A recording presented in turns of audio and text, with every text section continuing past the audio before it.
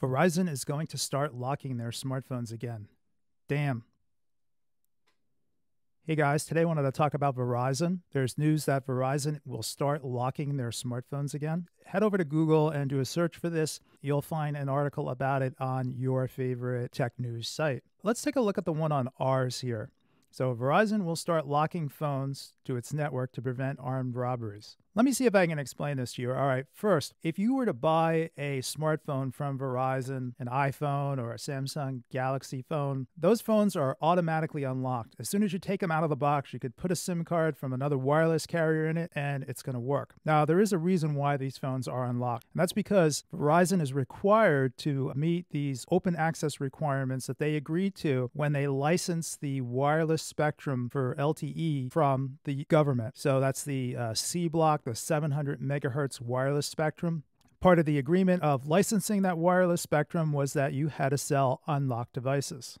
Now, the change, which is supposed to be coming in spring of 2018, is Verizon says they're going to lock the devices. They're going to temporarily lock the devices so that they can prevent theft.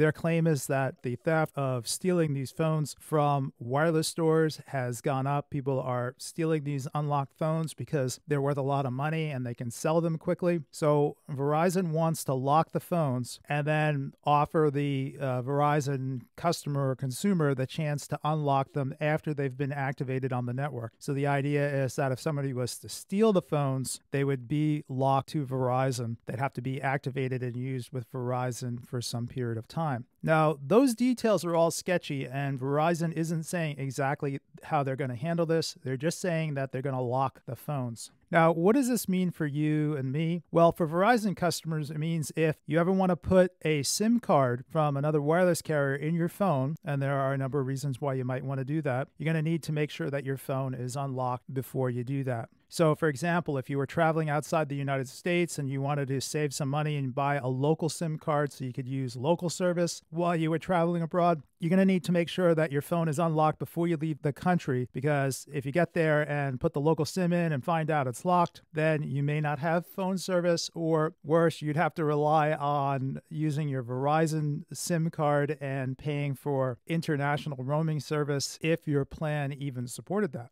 Now, even if you're not leaving the United States, you may from time to time want to try a different SIM card in your phone.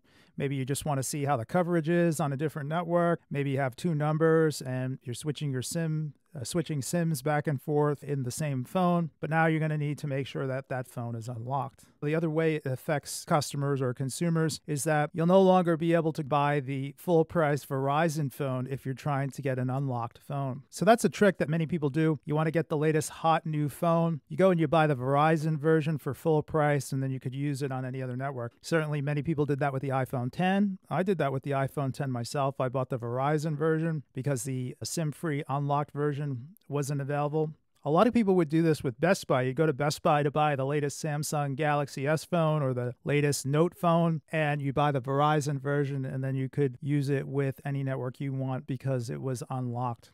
Now, this is going to be an ongoing story because Verizon hasn't told people exactly what this unlocking policy is going to be. They're still figuring this out, I guess. There's some question as to whether or not this new unlocking policy is going to violate those open access rules that they agreed to. We'll see if the FCC has a comment or ruling on that. I'll do an update then. But in the meantime, head over to Google and you can see all the different articles on this and just pick your favorite site. Everybody's talking about this now. A lot of people are questioning Verizon's motive, saying that locking these phones just to prevent theft is just an excuse to lock customers in. So we'll see how the story unfolds moving forward. All right, guys, that's going to be it for this video, and I will talk to you next time.